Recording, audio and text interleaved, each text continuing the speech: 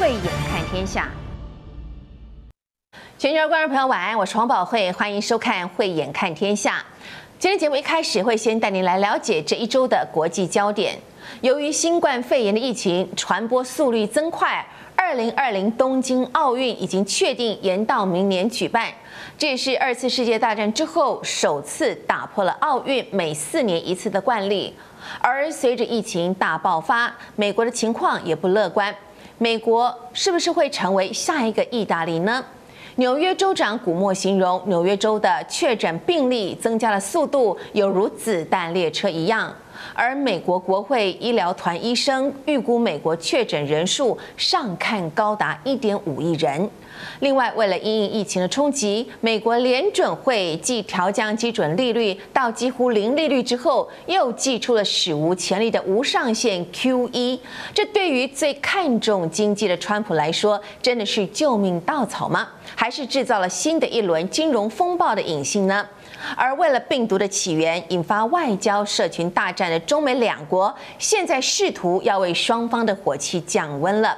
就在中国驻美大使崔天凯接受美国新闻网专访的时候，说了外交官揣测病毒来源没有好处之后，隔天川普总统在白宫记者会上也不再提 Chinese virus 了，还说传播病毒不是亚裔的错。中美两国真的能够握手言和，共同来对抗新冠肺炎这个看不见的敌人吗？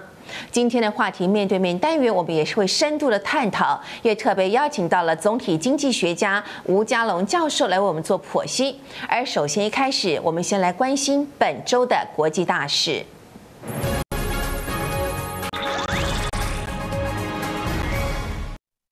全球新冠肺炎的病例突破了四十万人大关，疫情现在更是延烧到了美国。全美国已经有了十六个州要求民众禁足待在家，等于是有超过一亿人生活受到了影响。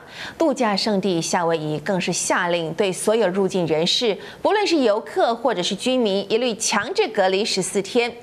而继美国华盛顿州和纽约州。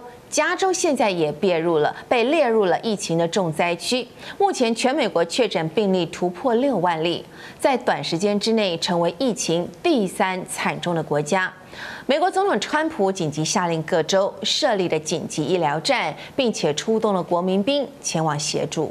美国疫情止不住，继纽约州和华盛顿州，美国总统川普宣布，人口最多的加州也列为疫情重灾区。In addition to large quantities of supplies, I've also directed FEMA to supply the following four large federal medical stations with 1,000 beds for New York, eight large federal medical stations with 2,000 beds for California.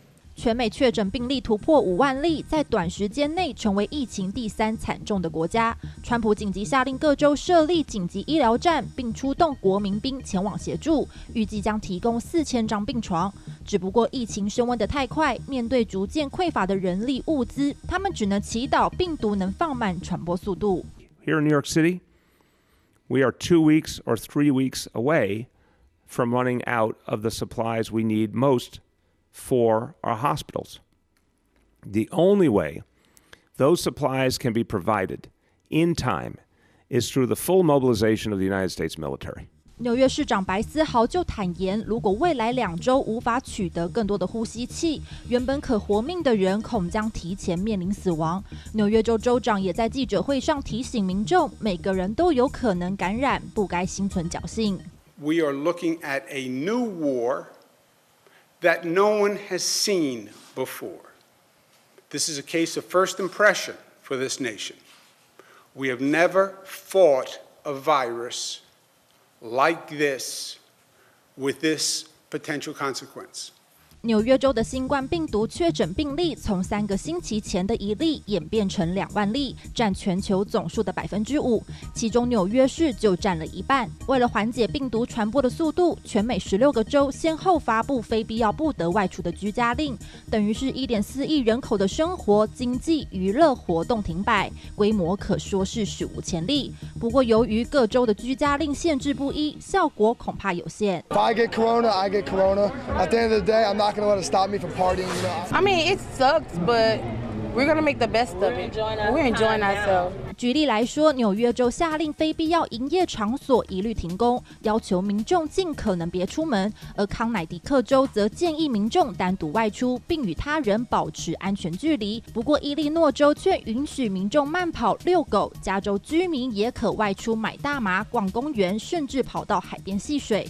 这些全都有可能成为防疫破口。This is just a mistake. It's a mistake. It's insensitive. It's arrogant. It's self destructive. It's disrespectful to other people. And it has to stop, and it has to stop now. 新冠肺炎来势汹汹，病毒延烧的层级也越来越高，美国政坛也沦陷。由于副总统彭斯办公室人员都出现确诊病例，彭斯夫妇赶紧做检测，所幸结果都是阴性。至于川普先前曾与爆出有染疫者的巴西访美团有所接触，川普与妻子梅兰妮亚也做了病毒测试，并未感染新冠肺炎。尽管如此，白宫依旧不敢大意，因为美国国会议员中确实有人染病。Senator Rand Paul has been diagnosed with the coronavirus. According to a statement posted on Twitter Sunday, Paul hasn't experienced any coronavirus symptoms. 疫情逐渐严峻，现在因为防疫造成经济活动停摆，也让失业人口增加，企业面临存亡危机。为了避免2008年雷曼金融危机重演，美国联准会在两次大降息后，二三号宣布祭出量化宽松无上限的猛药，也就是央行将无限量购买债券。不过却引 来学者担心，疫情落幕后恐将出现物价上涨。资金泡沫化等问题留下的后遗症也成为论战焦点。Our goal is to get relief to Americans as quickly as possible so that families can get by and small businesses can keep workers on the payroll. Uh, this will help our economy, and you will see our economy skyrocket once this is over. I think it's going to skyrocket. It's a 川普保证经济不会长期停滞，也强调美国很快就会重新开门做生意。但有经济学家预测，今年美国经济产值将因为这次疫情损失一点五兆美元，几乎肯定会陷入衰退。加上面对国内严重疫情，经常把矛头指向别人的川普，也引来防疫政策慢半拍的骂声。随着疫情在美国急剧扩散，川普之前看淡传播力的态度，也让人放大检视。记者徐军综合。报道：中美两国为了新冠病毒来源以及防疫资讯透明度等问题吵得不可开交之际，没想到双方在防疫之外还在互相较劲儿。美国第七舰队二十三号就透过了官方脸书披露，在菲律宾海实弹操演，并且发射了一枚飞弹，引起了关注。虽然目前并没有冲突的危机，美方也强调只是在强化印太地区的安全为稳定，但是在菲律宾海射飞弹，同时又主动发布消息，在在都是挑动了中国大陆最敏感的神经。美国和中国大陆为了新冠病毒来源吵得不可开交，现在在防疫之外，双方又再起波澜。美国海军第七舰队二十三号罕见在官方脸书上放了航母战斗群在菲律宾海试射导弹的那一刻。虽然美军强调是在强化印太地区的安全与稳定，但主动发布消息，外界也解读美方向中国大陆挑衅的意味浓厚。民进党立委王定宇第一时间在脸书发文表示，这是美军第一次在菲律宾海域发射飞弹，是一起严肃的事件，甚至猜测有可能是中国大陆内部发生大事，才让美军必须升级压制中国大陆军队的动作。还说台湾应该要持续密切观察，注意国际政治局势变化。而就在美中军事较量之际，我国国防部二十六号也证实，第七舰队一艘伯克级驱逐舰麦坎贝尔号于台海进行航行任务。国防部也立即发布新闻稿表示，国军对于周遭状况都有掌握，期间并无异状，请国人放心。虽然中国大陆方面目前并没有对美军动作做出任何回应。但新冠肺炎期间，中美在南海、亚太地区动作不断，双方角力的情况，短时间内恐怕只会越来越频繁。记者徐军综合报道。新冠肺炎冲击到全世界，原定七月份举行的二零二零东京奥运，确定将会延到明年夏天前举办。而这也是现代奥运一百二十四年历史以来第一次因为疫情延期。日本关西大学名誉教授宫本胜浩日前就提出了数据，认为日本恐会将面临着四点五兆日元（折合新台币一点二兆元）的惊人损失。疫情在全球蔓延，东南亚的情势也已。引发了专家的担忧。除了马来西亚宣布锁国，目前印尼、雅加达和泰国也都已经进入了紧急状态。而新加坡自二十四号开始也禁止所有的外国短期旅客入境或者是过境新加坡。印度更宣布，从二十五号凌晨开始，全国十三亿的民众禁足二十一天。总理莫迪在演说当中也特别提到，如果不遵守禁足令，印度恐怕会倒退二十一年。奥运圣火二十号才刚从希腊雅典运抵日本东京，没想到不到一个星期，奥运会就宣布确定延期。アスリート、世界のアスリートの皆さんが最高のコンディションでプレーでき、そして観客の皆さんにとって 安全で安心な大会とするためにおおむね1年程度延期することを軸として検討していただけないかという提案をいたしましたバッハ会長から100%同意するという答えをいただきました。日本首相安倍晋三二十四号和国际奥林匹克委员会主席巴赫举行电话会谈之后，对媒体表示，考量到疫情严峻，二零二零东京奥运确定延期一年举办。不过，为了赛事，日本筹备多年，延期消息一出，也让部分日本民众大呼可惜。えちょっとこれから日本経済がすごく心配です。あと選手の方がかわいそうだなと思って、多分ここの今日のため、ここ。 今年の、まあ、7月ぐらいのためにこうずっとレースされてきたじゃないですか。でそれがまたあと1年ねなんか訓練されるとか。奥运延期似乎是大势所趋，但事实上对各国运动员来说都有一定影响，而且许多事项是必须要重新安排，包括比赛场地、周边商品、动线规划、选手村大楼等，成本恐将无限提升。而这一切为日本所带来的经济冲击绝对不容小觑。In the event that the games are postponed. then obviously there would be uh, some degree of negative impact to Japanese um, economic growth in fiscal 20.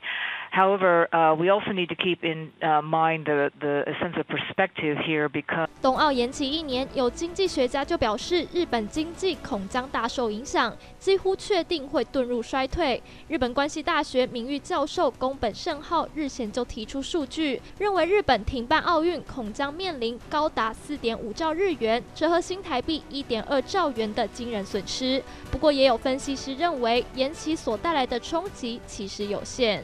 You know, the 1964 Tokyo Olympics were an enormous milestone for the country. It kind of represented uh, Japan coming back onto the world stage uh, after World War II. And in the same way, the 2020 Olympics were really supposed to be a statement that Japan was back. 日本赌上一切，原本盼能找回经济荣景，时隔五十六年完成二度改变日本的超级任务。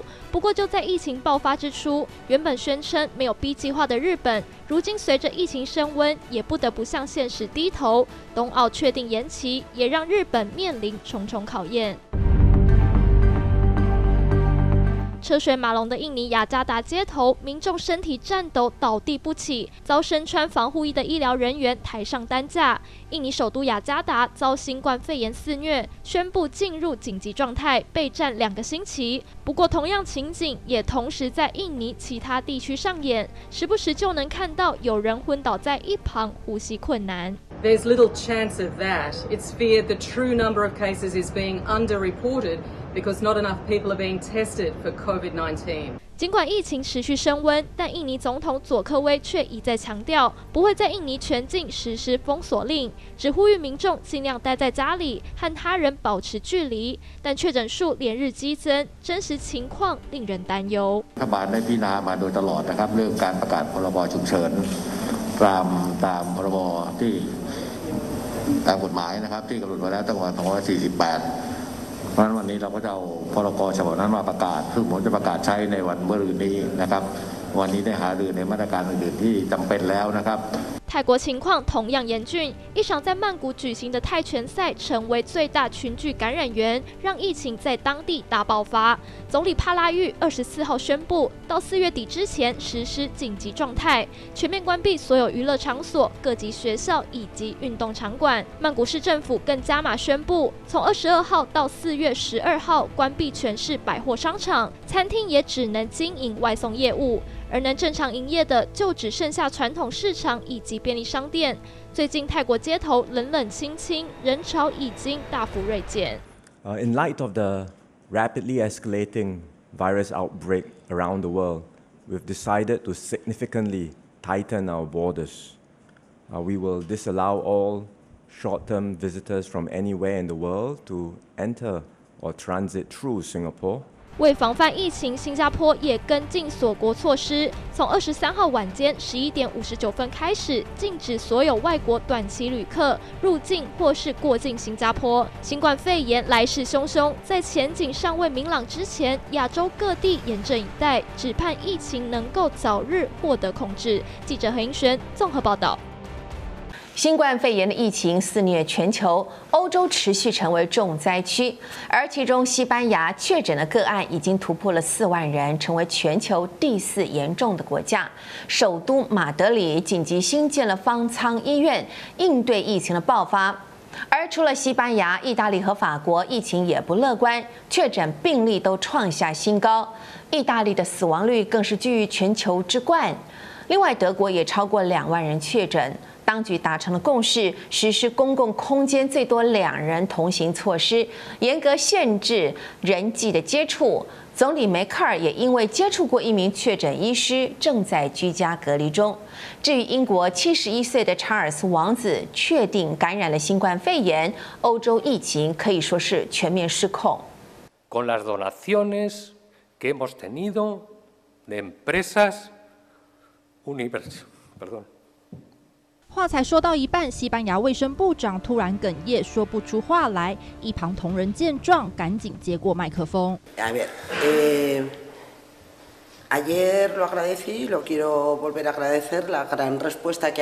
新冠肺炎在全球大爆发，欧洲疫情更是几近崩盘。西班牙过去一周突然恶化，确诊个案飙升到三万人，成为全球第四严重的国家。疫情严峻，医疗物资也很吃紧，口罩价格还一度被哄抬到一片三百欧元，接近新台币一万块。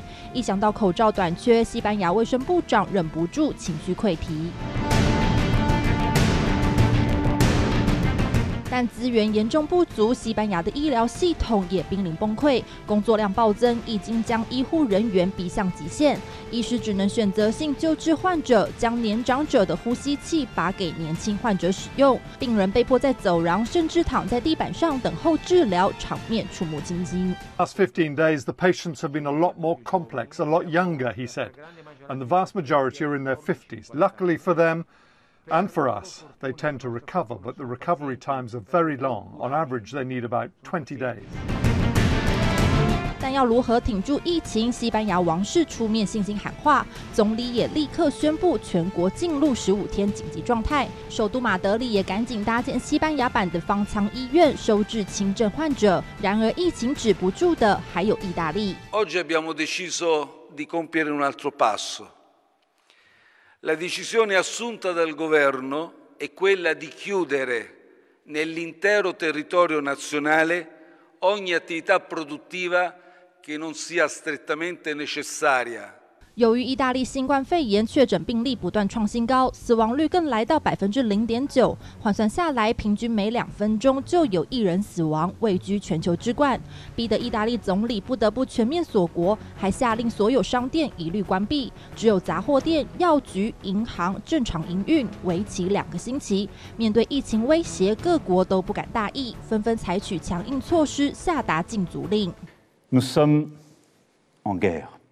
En guerre sanitaire, certes, dès demain, midi, et pour 15 jours au moins, nos déplacements seront très fortement réduits. 先前法国总统马克宏就警告民众，要是违反规定在外逗留，一定开罚，最高可罚三百七十五欧元，约一万两千元台币。英国首相强森也不再佛系防疫，宣布各级学校二十号起关闭，也暂停周末夜班列车服务，防堵群聚感染。情况同样严峻的还有德国。German Chancellor Angela Merkel has gone into self quarantine at her home after having contact with a doctor who tested positive for the coronavirus. 六十五岁的德国总理梅克宣布自主隔离，原来是替梅克注射疫苗的医师确诊新冠肺炎，但为了保险起见，梅克决定以身作则，进行居家隔离，在家办公。不过，梅克尔在宣布自我隔离之前，才被拍到照常去超市购买生活用品。从画面上来看，梅克尔没有戴口罩，也没有其他的防护用具，似乎对疫情很放心。但除了领导德国渡过难关，这回梅克尔自己可能也要面临病魔的考验，也让不少专家相当忧心。Diese Krankheit ist schwerer und wird mehr Menschen betreffen. Wenn es immer noch Menschen in unserem Land gibt, die das nicht glauben oder die mir nicht glauben oder die das für Panikmacher halten. Dann ähm, kann ich nur nach meinem Wissen, nach bestem Wissen und Gewissen, nach meiner Kenntnis, kann ich Sie nur auffordern, endlich die Augen zu öffnen vor dieser Realität. 目前德国确诊数突破两万四千人，死亡人数也即将破百。德国政府收紧防疫限制，禁止两人以上的聚会，餐厅也只供应外带外送服务。新冠肺炎疫情还没看到尽头，景气原本就低迷的欧洲，如今又遭到重击。但可确定的是，无论疫情还要持续多久，病毒当前，各国都下定决心应对。欧洲更计划考虑发行共同债，来避免新一轮欧债危机。曾在二战受过重创的欧。州在巨大的恐惧阴影之下，显然不想再让经济被孤独埋葬。记者徐军综合报道。美国总统川普一连多日以中国病毒来称呼新冠肺炎，引发了外界的质疑，有种族歧视之嫌。而他的一席话也让仇华的情绪在当地升温。华裔亚裔人士在美国遭受到了歧视、霸凌的事件层出不穷，甚至还有孩童也无端遭受到攻击，让美国华人圈人心惶惶。不少人选择买枪自保，又被无患。而疫情延烧，各地也掀起了恐慌抢。粮潮，美国和澳洲就有卖场推出了敬老时段，让年长者或者是行动不便者在特定的时段优先购买，确保所有人都能够买得到足够的物资。Everyone knows Chinese people are disgusting. They'll eat any type of animal. They're dirty. That's what my classmate said just days after the coronavirus outbreak started in the United States. 在美华裔留学生无奈揭露遭歧视经历，随着新冠肺炎疫情在全球传开，华裔、亚裔民众遭霸凌事件层出不穷。First, I was uh, thinking like one one of my friends uh, just kidding me. When I turn around, he just uh, he just how to say stuck uh, my face with a knife. 美国德州两名泰国裔民众十四号带着两名小孩到超市购物，没想到却突然遭到一名墨西哥裔的十九岁男子持利器袭击，四人包括两名孩童在内，所有人脸部通通都遭到利器划伤，几乎毁容。而没想到，美国总统川普一席话又加速仇华情绪在美发酵。Why do you keep calling this the Chinese virus? Why do you keep using this? A lot of people say it's racist. It's not racist at all. No, not at all. It comes from China. That's why.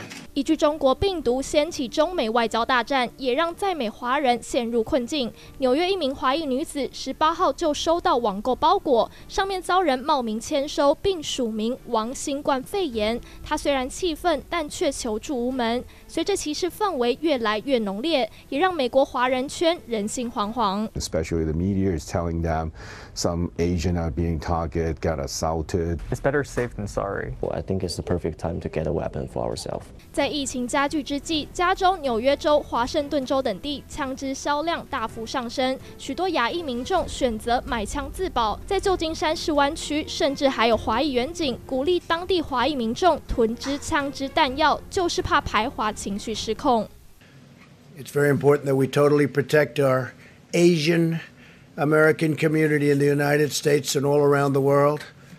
They're amazing people. And the spreading of the virus is not their fault in any way, shape, or form. 中国病毒一说引来外界批评有种族歧视之嫌。川普二十三号终于首度改口，还在记者会上重申推文内容，强调亚裔美国人社群十分重要而且优秀，不论病毒是以何种形式或管道传播，都不是他们的错。态度一百八十度大转变，也让人雾里看花。Everyone, of course, needs food to survive, but you're supposed to avoid groups, and that is especially true if you're older. As Katie Brace reports, grocery stores are now making special hours for seniors so that they can have the stores to themselves. 美国疫情大爆发，引起民众恐慌。抗议氛围下，市区街道一片冷清，唯独超市、大卖场还能看见人潮。当地有部分卖场为了照顾年长者，也安排特定时段让年长者进场购物。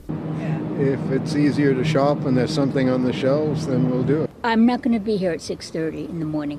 Um, right now, I feel okay about coming regular time. I think if it's helpful, just awfully early. I don't get up that early. 虽然消费者评价两极，但为了确保所有人都能买到必要物资，澳洲最大连锁超市沃尔沃斯也同样宣布，让年长者以及身心障碍者优先进场购买。Cole says it has increased cleaning, especially in high traffic areas such as checkouts, offering sanitizing stations outside stores and trolley wipes. 面对消费者的疯狂抢购，卖场祭出各种手段应应，不敢松懈。但在英格兰，一名老人被捕捉到站在空荡荡的货架前，无助又失落的背影，引发网友热议。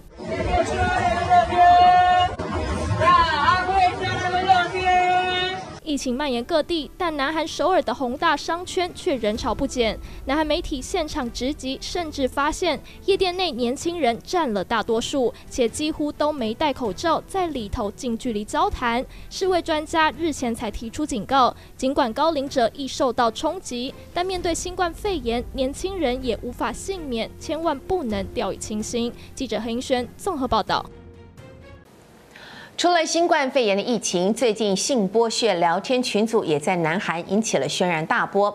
一群不小分子在社群软体 Telegram 上胁迫女性拍摄不雅影片，并且还散布在付费聊天室当中。加入观看的会员超过二十六万人，而当中还有一名自称博士的男子，除了威胁受害女性拍摄了不雅影片，还在被害人的身上刺了不雅的字眼，情节重大，令人毛骨悚然。消息一出，引发了全民的公愤。短短一周，就超过五百万的南韩人向总统府青瓦台请愿，要求公开嫌犯的身份，并且还要加以严惩。但是没有想到，在政府还没有做出回应之前，韩国的媒体就率先披露了化名为博士的男子他的长相跟个子。这名二十五岁的赵姓男子不仅在大学时期成绩非常的优异，甚至在几个月之前都还热衷慈善的活动。没有想到涉嫌犯下这样骇人听闻的性剥削案，引起了热议。骇人听闻的 N 号房事件震惊南韩，一群人在社群软体上开设八个付费聊天室，分别为一到八号房，在里头分享女性不雅影片，并按照影片严重程度收取不等的费用。国民日报记者就在报道中写道，他历经了采访过程当中最黑暗、最痛苦的一天，因为里头的不雅影像多半都是未成年女学生遭到性侵或是遭到胁迫拍摄的不雅影片，而这一些受害女性都是不孝分子。冒充警察，从推特或是社交软体上拐骗、威胁而来，进而成为被利用的赚钱工具。而更令外界震惊的是，在同一个社群平台上，还有另一个绰号“博士”的男子开设“博士房”，犯案手法和 N 号房如出一辙。但影片内容情节更加重大，除了威胁拍摄，还在受害女性身上刺上不雅字眼，令人毛骨悚然。而就在舆论发酵之际，网友也涌入青瓦台网站请愿，要求公开嫌犯各资。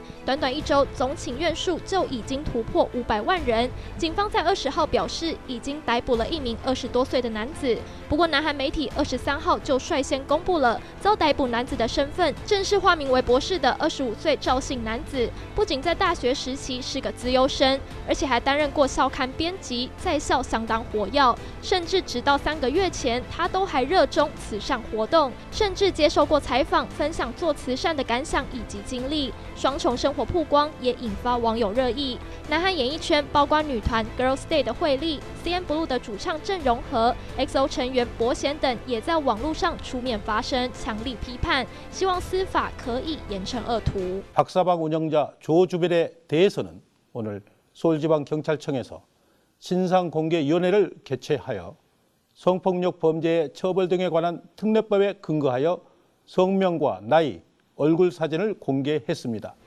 不敌舆论压力，南韩警方二十四号破例批准公布嫌犯身份，而这一名赵姓男子二十五号也终于现身荧光幕前，在警方陪同之下向社会大众道歉。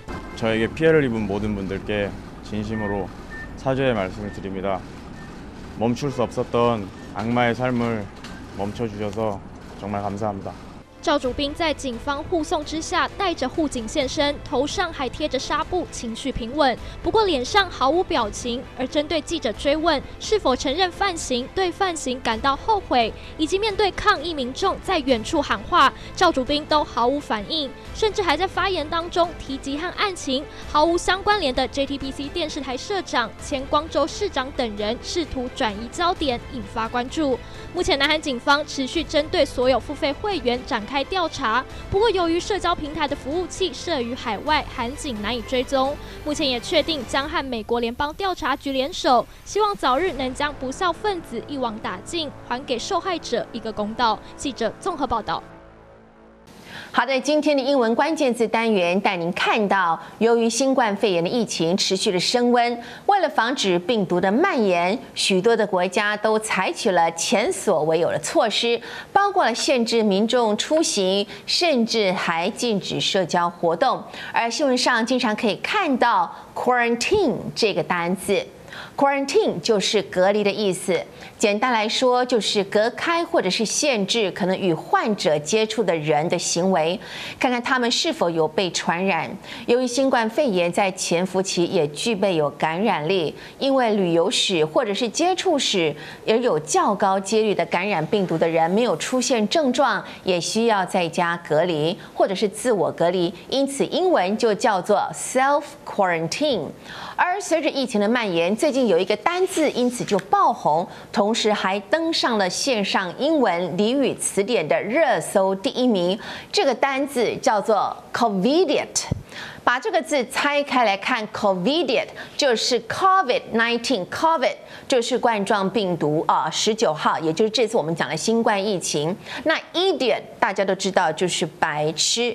那什么叫做新冠白痴呢？目前有两个意思，主要的意思一个指说你漠视病毒，没有保持一个社交的距离，或者是你不理会政府的告诫，让疫情加速传播的人；另外一个呢，则是狂囤生活必需品而导致别人。没有货可以买的人，都可以用这个字 “covida” 来形容。好的，以上就是今天的英文关键字。接下来带你一起来关心大陆趋势消息。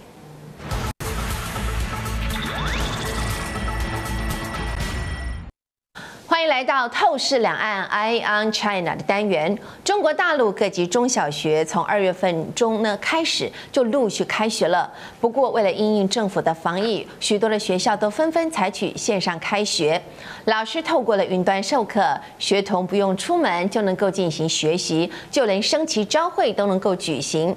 在疫情冲击之下，大陆不少产业也面临着停滞期，最大的受害者正是观光娱乐业。影城因为暂停营业，票房的收入也跟着锐减。有地方政府为了振兴电影院，就寄出了十条补补贴的措施。而其中，如果说拍摄关于抗疫精神的影片，最高就可以获得人民币三百万元的资助。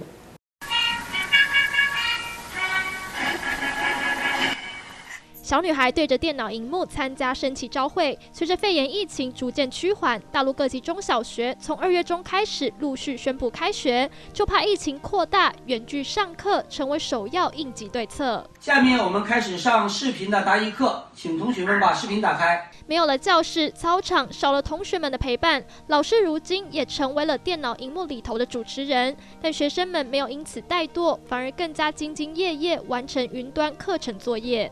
学校呃这个一一直按照一套体系在走，然后让我们感觉心里更踏实。如果有问题的时候，我把它拍照发到群里，老师也是一一细心给我解答，努力学习，不让爸爸妈妈担心。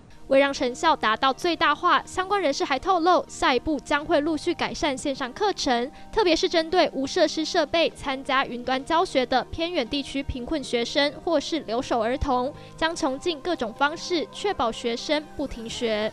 特别是对留守儿童、贫困学生等不具备上网条件的学生，将学校的电脑、教职工富余的手机及时提供给他们，并免费提供流量，确保学习的全覆盖。从疫情爆发至今，中国大陆受到的冲击难以估算。为振兴地方、抚慰人心，政府就寄出了奖励政策，鼓励民众记录抗疫过程。我叫王金南，我是武汉公交集团的一名驾驶员。今天晚上是几个人呢？我们是六个人。行，我们可以出发了。哎，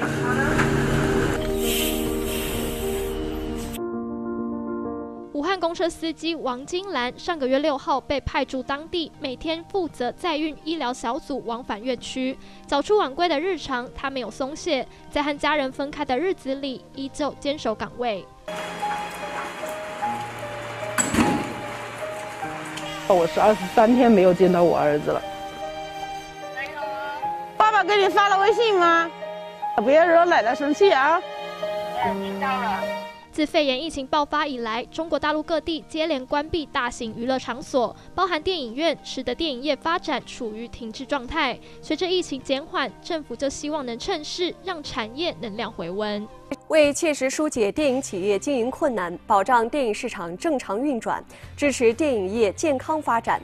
中共四川省委宣传部、四川省电影局推出了四川省关于应对新型肺炎疫情、支持电影业健康发展的十条措施。如果创作者以全面小康、脱贫攻坚、反映抗疫精神等重点题材进行拍摄，除了有全方位的保障，每一部符合条件的电影，最高还能获得三百万人民币的奖金。在疫情冲击之下，有望替当地娱乐产业带来全新气象。记者黑轩综合报道。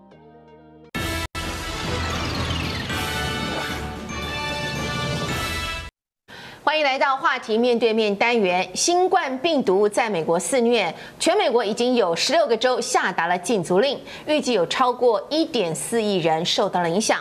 美国经济也受到了冲击，联准会本周史无前例的抛出无限期的还无期限的宽松政策啊，不断出手防止疫情酿成金融的危机，让疫情还是持续在延烧当中。川普政府也不断祭出了救市的手段。如果说美国挡不住疫情，这会阻碍到川普今年的连任之路吗？我们今天的话题面对面单元就特别邀请到了总体经济学家吴家龙老师，再度来到节目当中来做，跟我们一起来做深入的这个讨论哦。老师，我们先来关心一下新冠肺炎现在最新的发展。哇，世界最强权美国新冠肺炎疫情越来越严重，确诊人数短短两周冲破了六万。一要成为世界第三大的疫区，那么根据世界卫生组织哦 WHO 发言人哈里斯他表示，数据显示过去一天哈，每一天几乎百分之八十五的确诊病例都是集中在欧洲和美国，那么其中美国就占了四成之多啊。那么世卫组织也预测说，美国就很有可能就是新冠肺炎疫情下一个爆发的中心。老师您怎么看这个影响？我们看到美国的那个封州有几个州好像要封闭，那几个州呢，像纽约啦、加州啦、哦、佛罗里达、德州、伊利诺州、宾州，这些全部是人口大州。是。就是说，人口比较多的州，它容易产生人与人的接触，各种活动，所以传染的情况会比较严重一点。是。那么这些州恰好是美国选举的时候的大州。大州，嗯，因为人口大州嘛。它是选举人数最，选举人票最多的，叫做前十大州啊，包括新泽西州都都算。对，哦，还有啊，像这些州都是那个选举的大州。是。那因为人跟人的接触会造成感染。所以呢，可以预计得到哈，都会地带还有人口大州的话，都是疫情的重灾区。嗯嗯。所以呢，我们估计美国这样的这个爆发的话是合理的、有道理的。就是说，因为它这个爆发的地点不不是内陆的那些乡村州了，农业州，因为那个内陆是地广人稀。是。啊，所以我们估计美国在爬这个曲线的爬坡期。是。然后呢，要到一个程度以后，才会疫情才会过了高峰期，才会缓和下来。嗯嗯好，我们知道说，其实这个新冠肺炎的致死率。至少是一般流行性感冒的十倍之多哈。那么我们现在这个专家来预测说，美国呢医疗团队表示说，全美国未来可能会有七千万到一点五亿的人会感染到新冠肺炎哦。那么我们就发现到，川普总统他二十四号他接受新闻的访问，他就强调要让。国家重回正轨，他说：“我们的国家不是为了封锁而打造的。那么，我想看到的是国家重新开放。那么，我迫不及待，希望能够在复活节前，也就是四月十二号嘛，啊，Easter 之前来复工。”川普说：“这个复活节是一个复工的美好的时刻，beautiful time。”老师，你怎么看？那么，川普说他看到的是隧道尽头的曙光。那您觉得他对美国的这个肺炎疫情有没有太乐观？第一个政治人物通常要鼓舞士气、鼓舞人心，所以他会讲一些那个比较乐观的话，希望大家能够不要那么恐慌。是，这是可以了解。是。那第二点，说不定他掌握到一些情报，就是说那个对于疫苗跟。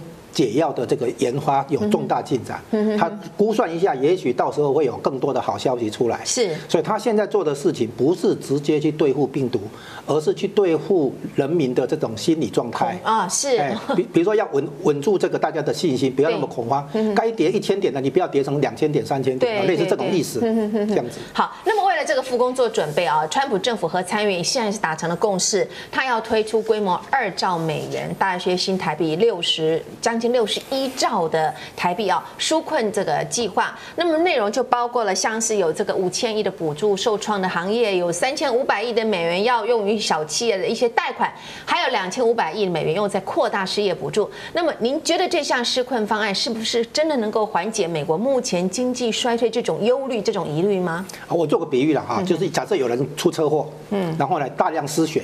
送到医院的话，医院当然要输血，紧急输血。嗯，但是输血不等于治疗。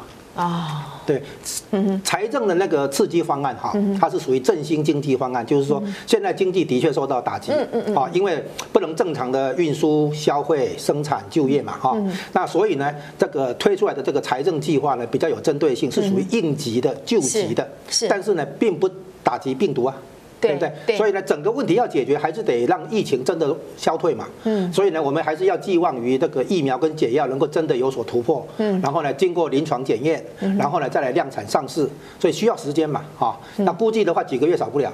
哦，你你需要研发，需要临床检验，看看有没有后遗症，有没有对症下药。最后好的话，还要能够量产成普通人可以服用的药剂嘛？这需要时间。所以呢，政治人物现在做的事情，就在在这一段过渡期里面稳住局面。稳住局面。对，老师您刚刚讲了，这好像是输血，输血不是等于治疗，但是你不输血一定会死。不输血就挂掉。是是是。好，我们再看到一个数据哦，高盛集团啊分析这整个疫情哈，对于全美国如果封城，已经是造成已已经很严重的经济影响。美国第二季的 GDP 预估。将会下滑了多少？二十四个百分点，打破了每个季度性下滑的记录。而目前呢，整个美国的市场最重要，全球金融市场最重要的议题就是讨论整个二零二零年衰退的深度跟它的长度到底会多久了。白话来就是说，美股到底还要再跌多少啊？还要再多久了？那么疫情对市场的影响要拖到什么时候？有没有一个时间表可以看到呢？川普给的时间表是八月。八月，嗯，那。正确的情况是这样，就是说要看疫苗跟解药的这个研发进展。嗯哼，如果快一点的话，那么就可以缩短整个过渡期。我刚刚讲到的哈，就是你的研发、那个临床试试试验跟量量产上架啊。那么这如一旦那个有所突破以后，大家的恐慌心理就会慢慢的消退。是是这样子。那经济的话一定衰退了哈，这个是没办法，因为这个大家了解嘛，就是很正常的消费生产都不能进行。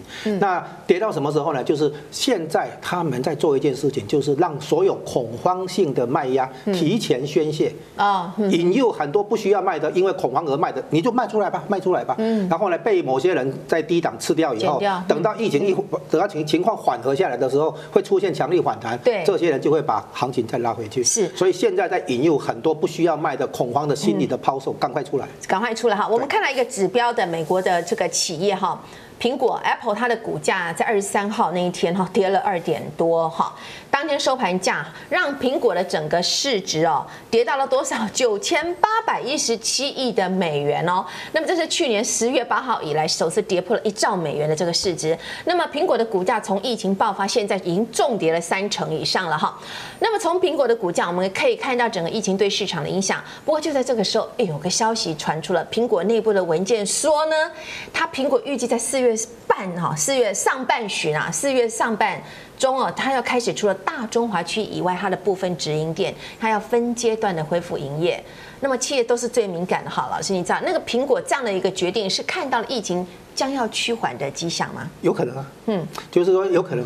那么我们现在看到了，就是说。也许了哈，我们猜测就是美国这边对于疫苗跟解药的研发进展，说不定有突破了。是，所以呢，他们开始部署四月。然后第二个情况是说，四月中旬开始天气转热了啊。然后呢，大大联盟哦，理论上大联盟是四月初就开打了嘛。当然现在可能不能，哎，可能没办法。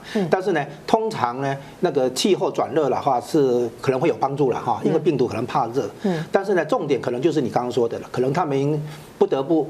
控制一下这个停工的这个期间啊。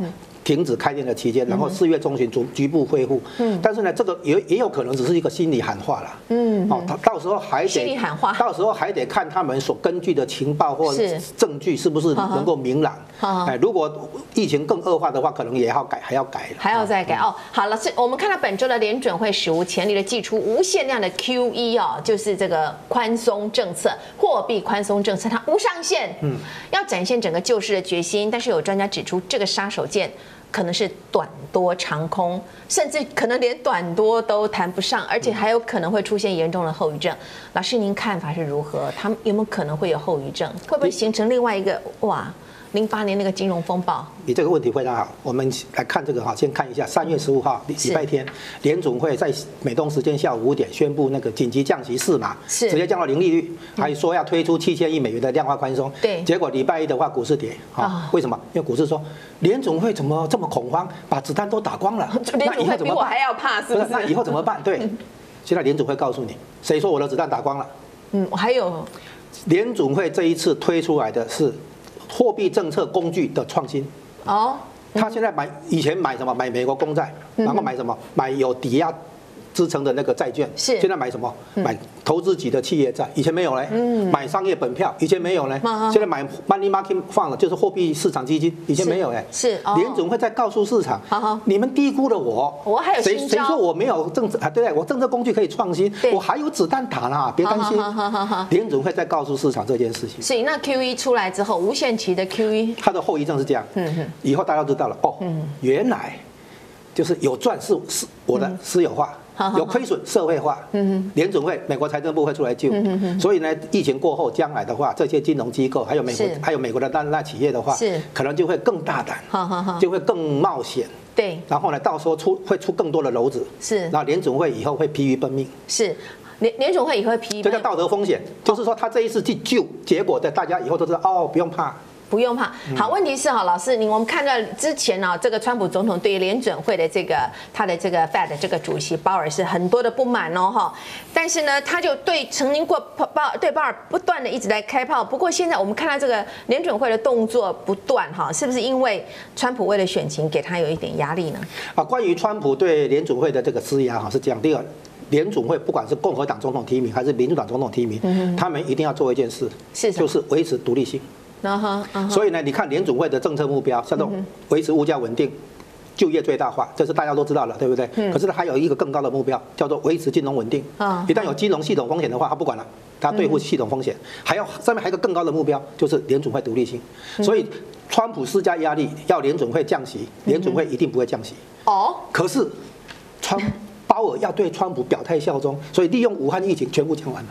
哦，哎，人家现在不会怪鲍尔的降息是向川普的压力屈服，因为武汉疫情嘛。哦，是是。对，他用武汉疫情掩掩饰他的那个落后追赶。啊，就是补降息了。我们讲补降息，哎，所以川普就满意了嘛，哈。可是呢，人们现在不会怪鲍尔这个向川普压力，因为如果你向政治压力屈服的话，完蛋，以后纽约州参议员来跟你施压，你怎么办？加州参议员来跟你施压怎么办？所以联总会的货币政策会整个崩溃，所以他必须维持独立性。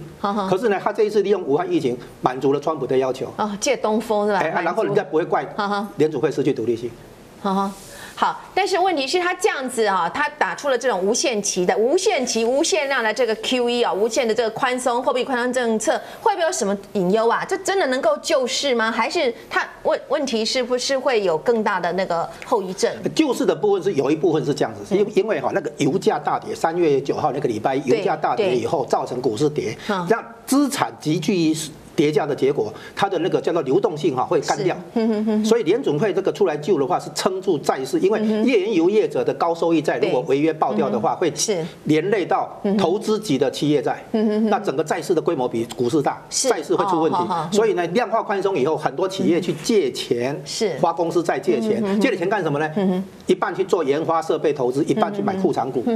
买库藏股以后，股价一路走高。是，所以美国股市的背后是量化宽松。所以现在怕那个这个金融地雷爆掉，是，所以联准会要出来撑是这个，它维持金融稳定，它避免债市爆掉，避免股市爆掉。哦，是这样，它不得不然一定要出来。所以输血不等于治疗，但是不输血就挂掉了。是啊，是啊，是啊。好，那老师，我们看到这个，因为这个感觉上新冠肺炎的疫情，美国其实已经招架不住了哈。那么白宫对防疫过去的轻忽，再加上它政策慢半拍，也使得整个疫情扩散迅速，引起了美国民众的不满哦。那么所以川普总统应该已经要感受到了压力，所以他现在改口了哦。他之前一连多天都称呼新冠肺炎叫做 Chinese virus，他故意还改哦哈，还被记者发现，本来讲稿上是写 coronavirus 啊，新冠病毒，结果他还把它改成写成 Chinese virus 哦，结果没想到这个川普从二十三号在白宫记者会上，哎，他就不再以 Chinese virus 啊来称呼这个新冠病毒，而且他还被问到说你为什么没有在使用这个字眼的时候，他说啊，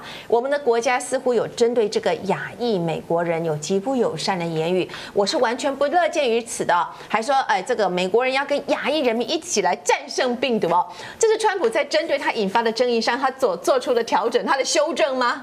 你的问题非常妙，答案是这样。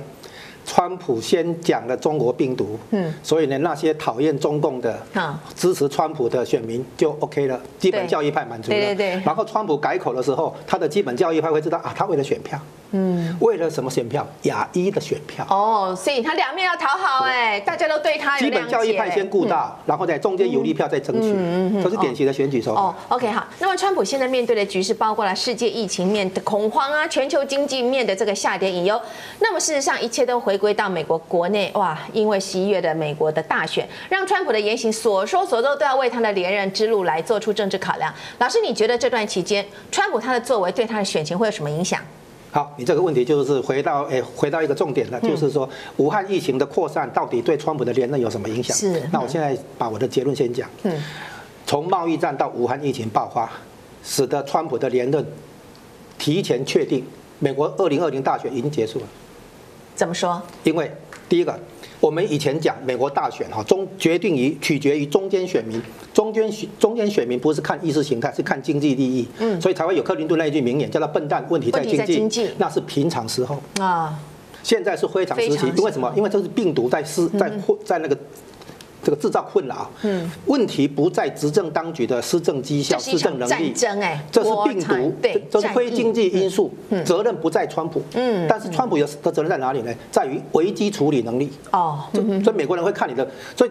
病毒的来源不是川普的责任，但是川普好好应对，这是他的责任。好，所以他一开始像你说的，他疏忽啊，有点慢半拍。是，他现在开始呢，全力以赴，选民可以就是，而且现在还三月嘛，哈，对对对，所以呢，他还有足够时间去挽救他的那个形象的下跌。那到到最后，他选民会了解，第一个，这个病毒来自中国武汉。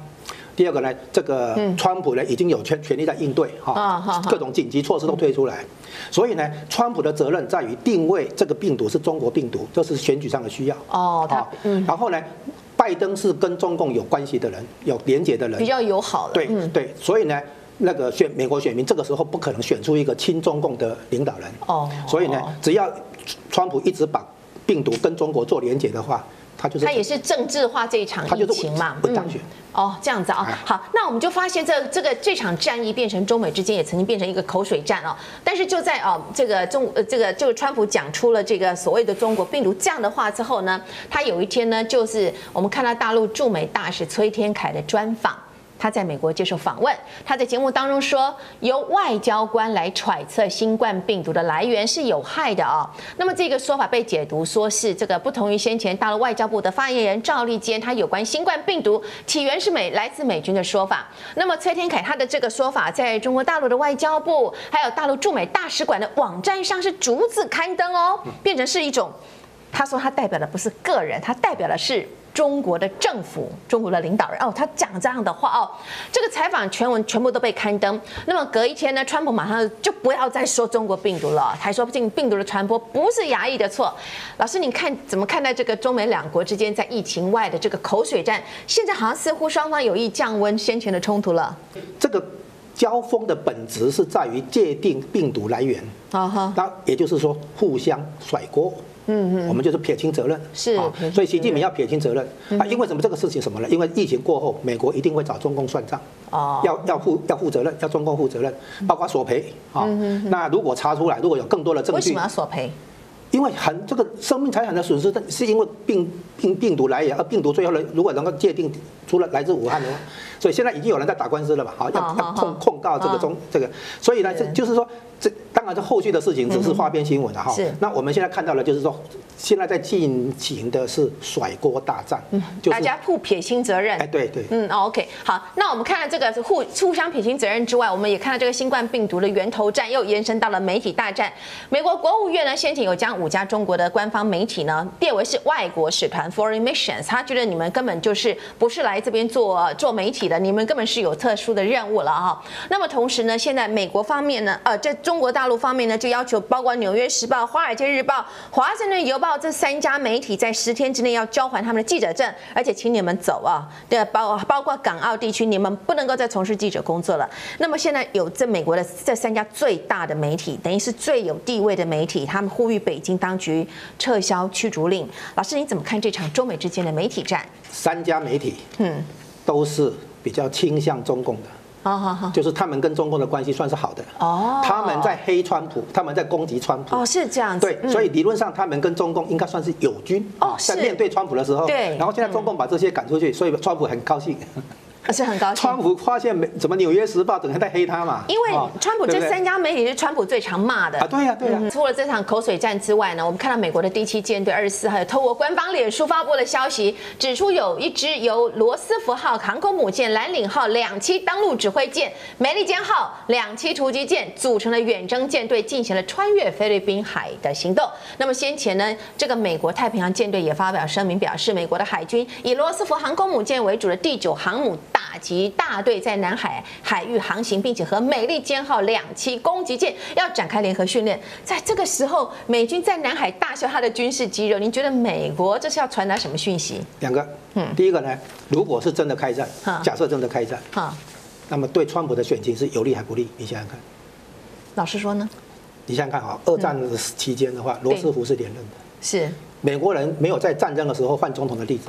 啊，如果真的打的话，好，第二点，第二个，他不是打的话，他是什么？他在警告中共，嗯，啊，目标目标地是台湾，哦，不要在台湾动手，要动手在南海动手，嗯哼哼，所以他把要把中共的军力引到南海去，要打在南海打，就是说，台湾是客厅了，嗯哼，不要在客厅打架，要打他出去外面，啊，嗯哼哼，就是说，如果老共，中共要转移压力，啊，要对外这个找一些。